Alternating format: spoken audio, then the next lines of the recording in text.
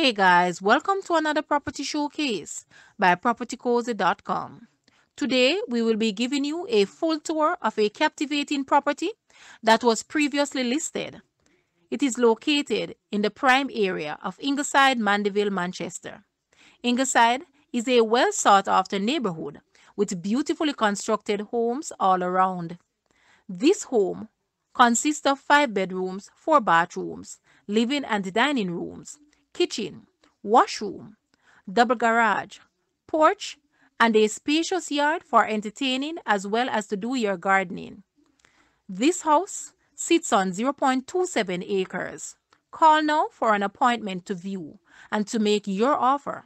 Guys, let's take a look at this house and please watch the entire video for more details at the end.